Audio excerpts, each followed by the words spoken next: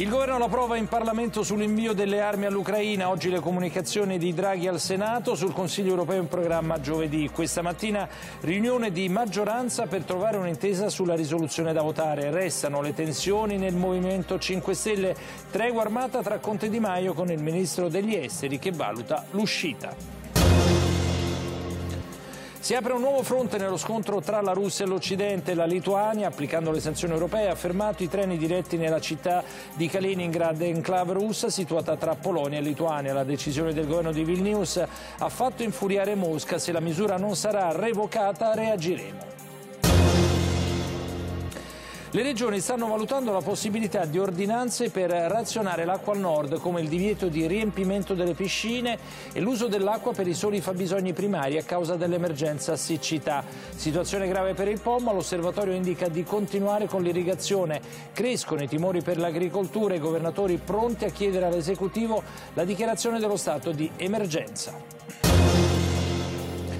È una super Italia quella dei mondiali di nuoto in corso di svolgimento a Budapest. In una sola giornata tre medaglie d'oro, quella di Thomas Ceccon nei 100 metri d'orso con il record del mondo, il primo posto della 17enne Benedetta Pilato nei 100 rana femminile, il terzo oro di un lunedì storico è quello del sincro duo misto con Lucrezia Ruggero e Giorgio Minisini.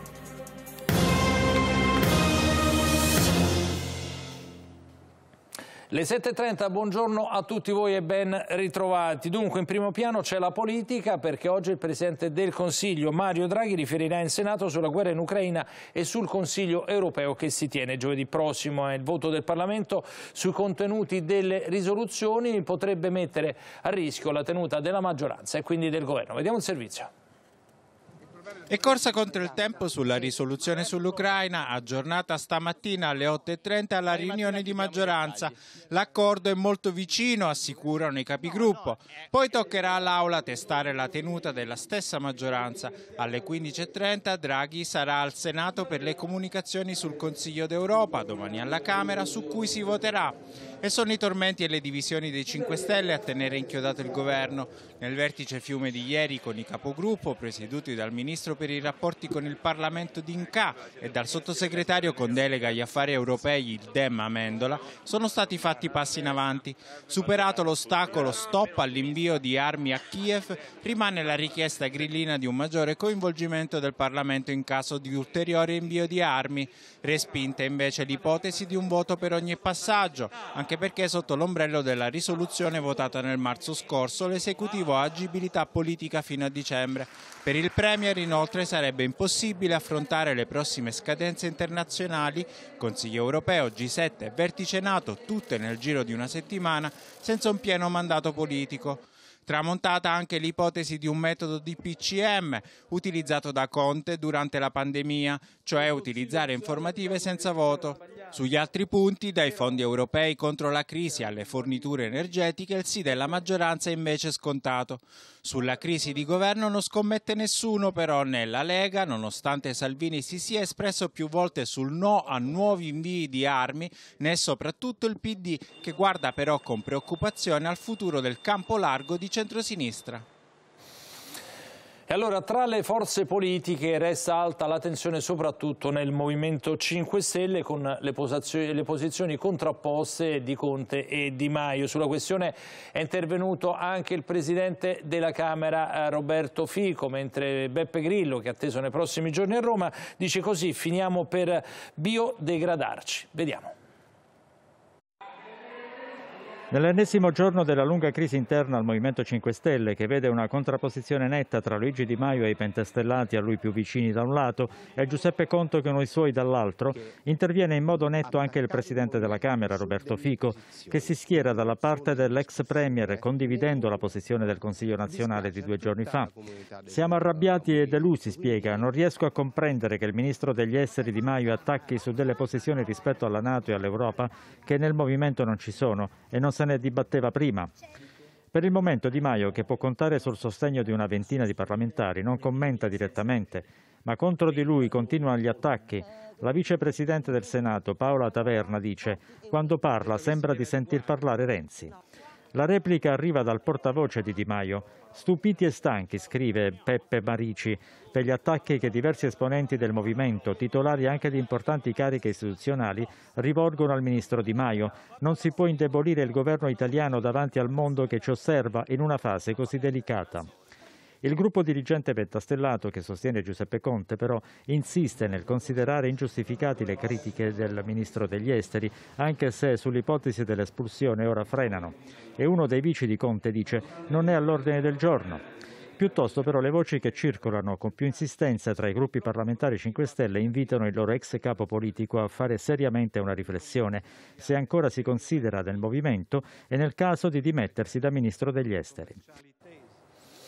E allora la questione ucraina è il pomo della discordia all'interno del Movimento 5 Stelle. Allora, nel prossimo servizio andiamo a vedere qual è la situazione sul campo con eh, le truppe russe eh, che avanzano nella loro offensiva. Vediamo. Passo dopo passo stiamo andando verso una settimana cruciale. e ogni giorno stiamo facendo tutto il possibile per far sì che non ci siano dubbi che l'Ucraina meriti la candidatura. Proviamo ogni giorno che siamo già parte dell'Europa Unita a dirlo il presidente ucraino Vladimir Zelensky elencando tutti i provvedimenti adottati dal Parlamento di Kiev in linea con le indicazioni di Bruxelles. Parole pronunciate al termine di una giornata nella quale Zelensky era tornato a rivolgersi ai partner diplomatici ribadendo non state sostenendo l'avanzata delle truppe ucraine fuori dal nostro territorio, ma la difesa della nostra terra, quindi per favore sosteneteci. Il tutto nella stessa giornata in cui il presidente ucraino ha parlato a una platea italiana, quella del Global Policy Forum, organizzato dall'ISPI, Istituto per gli Studi di Politica Internazionale, e dall'Università Bocconi e al presidente di Confindustria Carlo Bonomi in visita a Kiev per un incontro dedicato alla partecipazione degli imprenditori italiani alla ricostruzione per il dopoguerra in Ucraina, Zelensky ha detto l'Italia per noi è tra i paesi garanti della pace. Vorrei cercare di convincere tutti quanti ad aiutarci, è una questione di vita o di morte. L'Ucraina ha bisogno di aiuto, rifornimenti, alimenti, armi ed equipaggiamenti moderni. Ma grano, cibo e derrate sono state al centro del dibattito lungo tutta la giornata, anche a livello internazionale.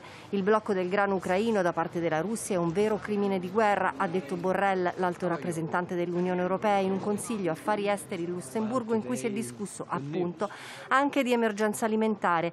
Chiediamo alla Russia di sbloccare i porti, ha aggiunto Borrell. È inconcepibile che milioni di tonnellate di grano siano bloccate in Ucraina quando nel resto del mondo la gente soffre la fame. E la tensione tra Europa e Russia è destinata a restare alta, ad accentuarla la decisione di Vilnius di un blocco al transito di beni soggetti a sanzioni europee verso l'exclave russa di Kaliningrad, situata tra Polonia e Lituania. Mosca in risposta ha minacciato immediate contromisure col portavoce del Cremlino Dmitry Peskov che ha parlato di situazione illegale e senza precedenti. Ore tese di dialoghi febbrili dunque sul fronte diplomatico per Kiev intanto in vista del Consiglio europeo è già stata diffusa una prima bozza di conclusioni. L'Unione si legge oltre a ribadire forte sostegno all'Ucraina per la sua resilienza economica, militare, sociale e finanziaria, rinnova alla Russia la richiesta di ritiro immediato e incondizionato delle sue truppe dall'intero territorio ucraino secondo i confini internazionalmente riconosciuti.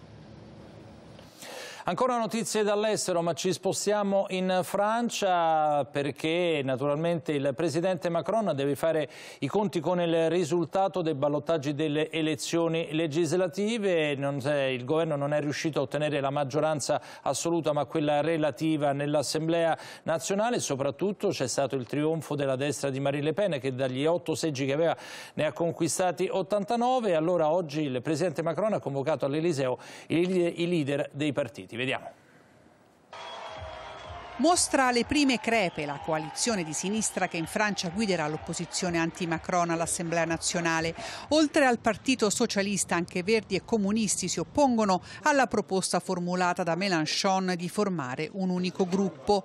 Dopo che il presidente, rieletto all'Eliseo per il secondo mandato soltanto due mesi fa, ha perso il controllo del Parlamento. Ensemble, la coalizione di centro del presidente, si è fermata al ballottaggio di domenica per il rinnovo rinnovo dell'Assemblea nazionale a 245 seggi, ben al di sotto dei 289 necessari per avere la maggioranza assoluta. Da posizioni opposte l'estrema destra e l'estrema sinistra francese, i veri vincitori del voto per il rinnovo dell'Assemblea, condividono ora la stessa ambizione, quella di rendere impossibile per Emmanuel Macron governare.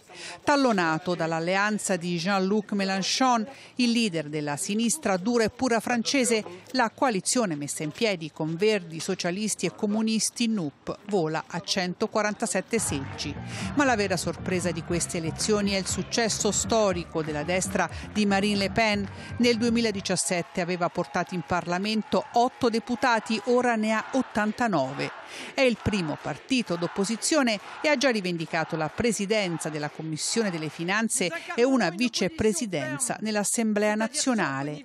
Incarneremo, dice Le Pen, un'opposizione ferma e responsabile, mentre affila le sue armi, annuncia che non riprenderà la guida del Rassemblement National per dedicarsi interamente alla presidenza del gruppo all'Assemblea, dove cercherà di bloccare le riforme promesse da Macron come quella sulle pensioni e su questo la Le Pen troverà una valida sponda a sinistra.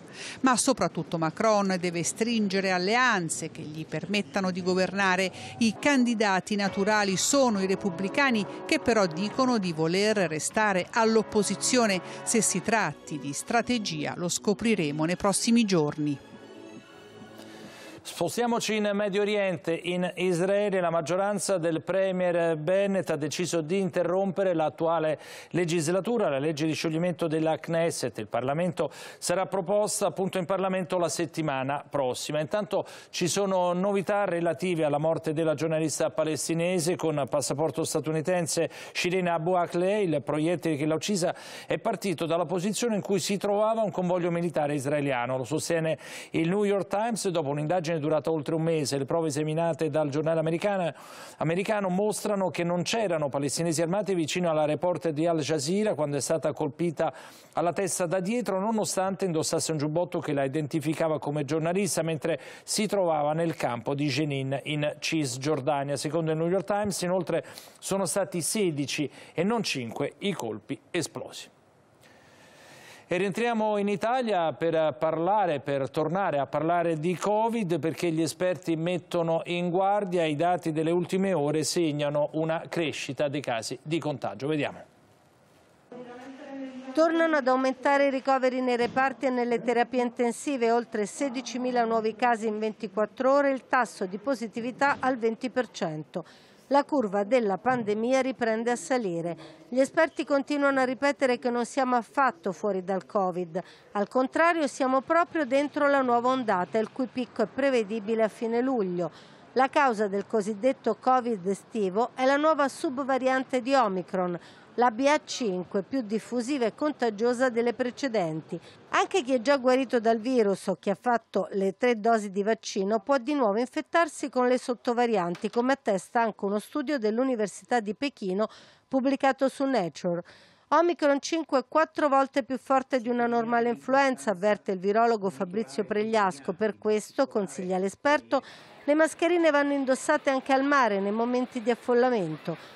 Godiamoci l'estate, dice il virologo Matteo Bassetti, ma consideriamo che la sottovariante ha la contagiosità del morbillo. Ogni soggetto positivo può infettarne altri 15.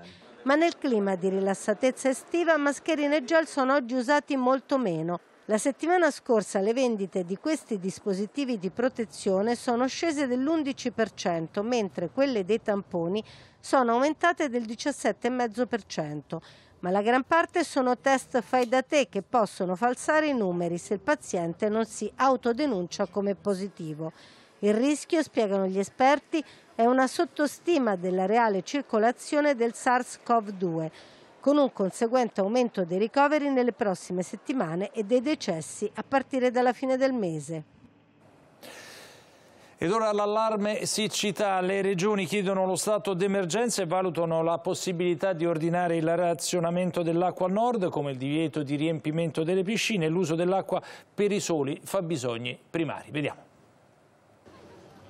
L'urgenza è quella di trovare una soluzione agli effetti di questa lunga seconda ondata di calore e assenza di piogge con tutto ciò che ne consegue. Siccità e razionamenti dell'acqua per l'irrigazione e altri usi civili, città bollenti a rischio blackout.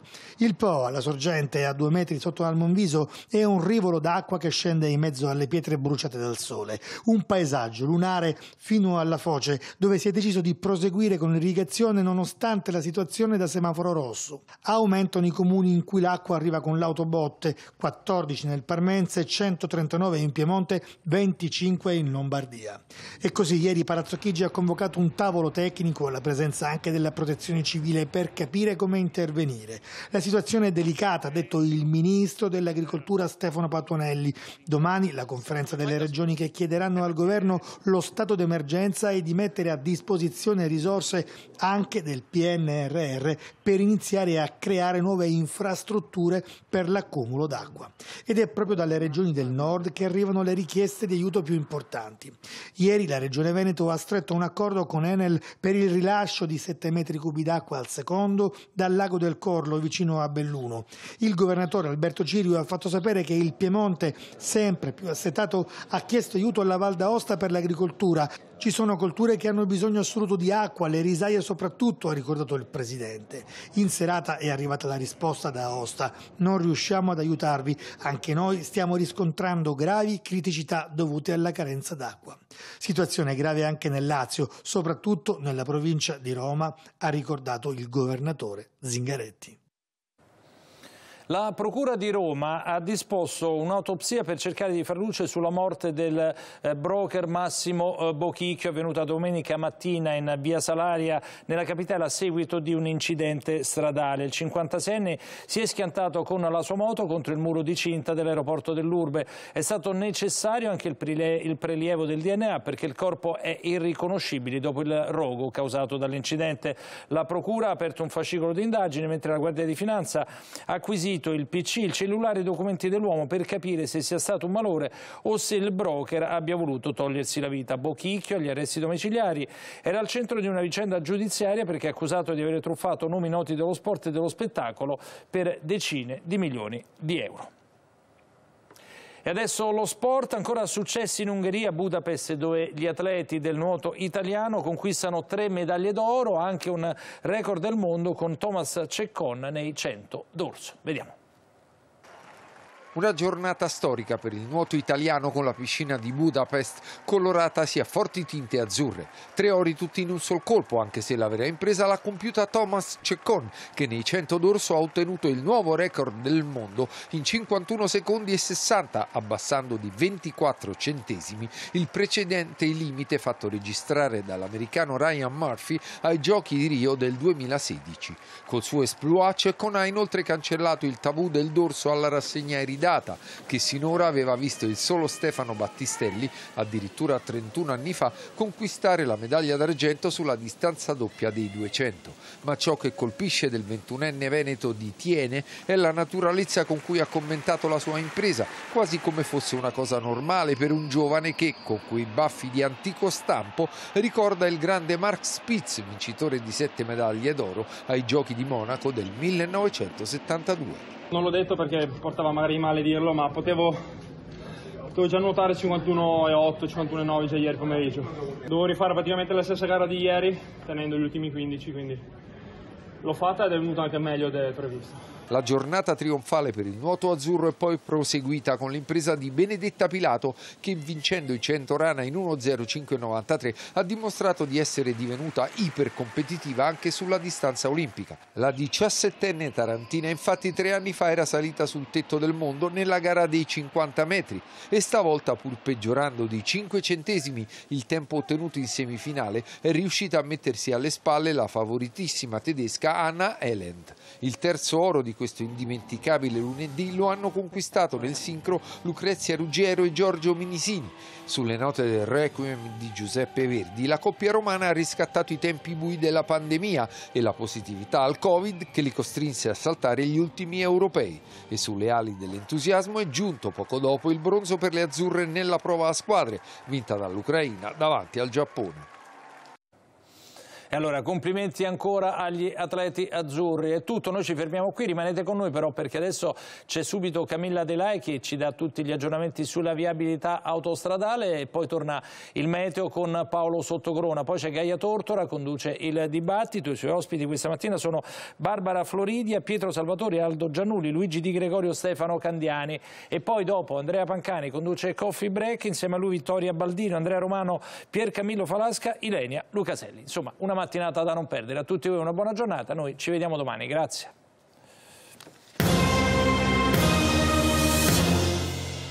Grazie Fabio, buongiorno.